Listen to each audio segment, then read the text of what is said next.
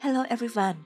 We will learn how to use advanced camera nodons for the first person view. With this setup, we can crouch, zoom in like a sniper, lock targets, or even switch between camera views. This is the second tutorial on the advanced camera series. It is an ongoing series so please subscribe to see more. If you want to know the advanced camera nodons, please check the first video which I have put at the top right. Okay, shall we start? Let's go! In the first step, since this is the first person view, we need a person and we need to add all the controls. In the settings, we have to make sure that it is not visible because we do not want to see the head or the body. In the second step, we are going to add the position camera. Before we start, let's take a look at how the first person view is set up. The first person view is a camera system where the camera is placed at the top of the person and the person is looking forward. So we have to put the position camera at the top of the person nodon. We go to Objects, Camera, Advanced Cameras, and then Camera Position. Here I connect the camera position to the person and then I go to the settings. I select the connection point to be from center to Y positive so that it will be around the height of the person.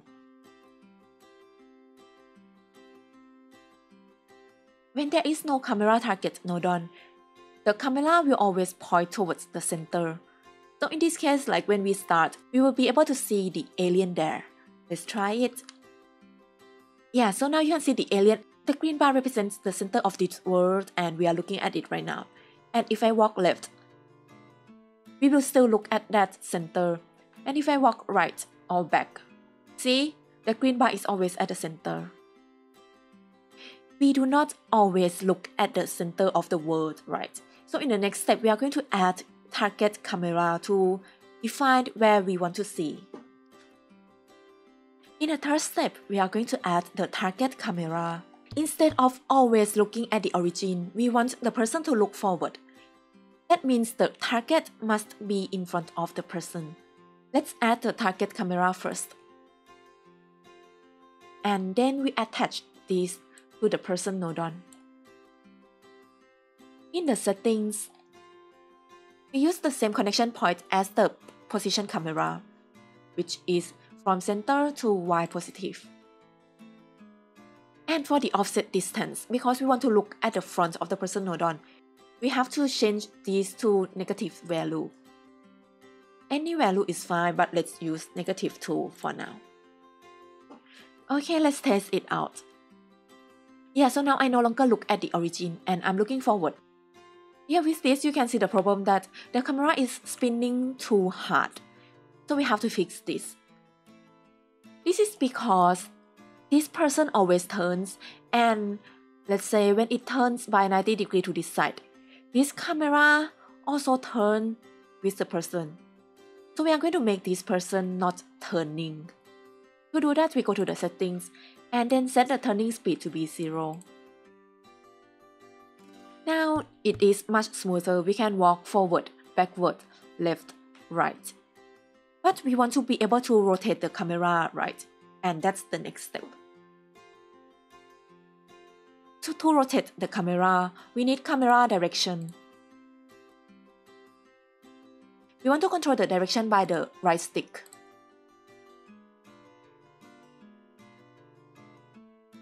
Let's try connecting this to the direction directly. If I move the stick, I can only move a little bit. That's because now the input to the camera direction is only 1 or minus 1. But we want to rotate more than that. So we have to keep track how much we have rotated and that's why we need counter nodon. And connect up down to the count up port. And the output of the counter to the up down camera direction. We do the same with left right.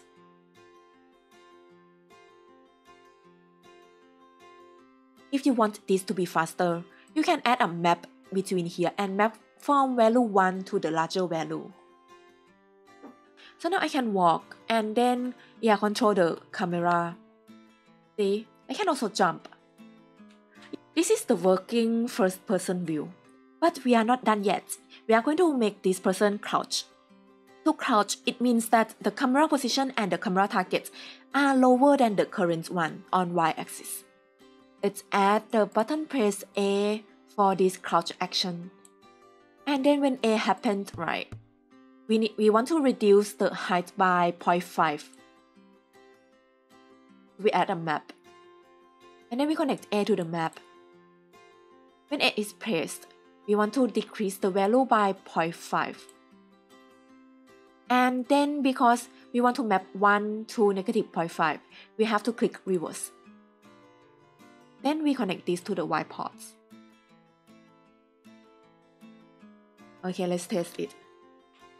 So now when A is pressed, see, I will start crouching. Yay! I can also jump, jump and crouch. Like in the Counter Strike, crouch jump. Let's add a zoom in feature as well. To zoom in the camera, like in other FPS game, we have to narrow the field of view. In GBG, we define the field of view by using camera angle, which is by default 90. We cannot decrease or increase it during the game. So instead of narrowing down the field of view, we are going to push the position and target forward. Let's say that we want to zoom in when X is held. And then when X is held, we want to move the position and target to the front by, by 10 meters, so we need a map.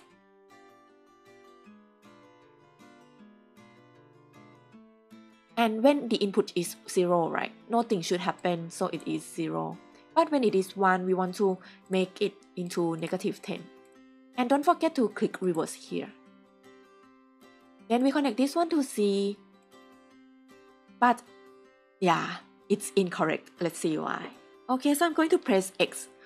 Well, it looks correct, but after I rotate the camera, see, it shifts incorrectly. Yeah, that's because right now the person cannot turn, so the Z axis always points towards the same direction. To fix this, we have to take the angle here into consideration. So we need an angle to position nodon. and then we get the horizontal value of the camera direction, which is from this counter. This position is based on the unit circle, but we want to shift it by, in this case, by 10 units. So we need to multiply this with the map value.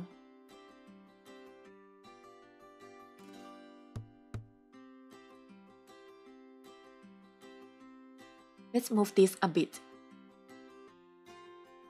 The first counter is for the horizontal value and we have to send this to the Z ports.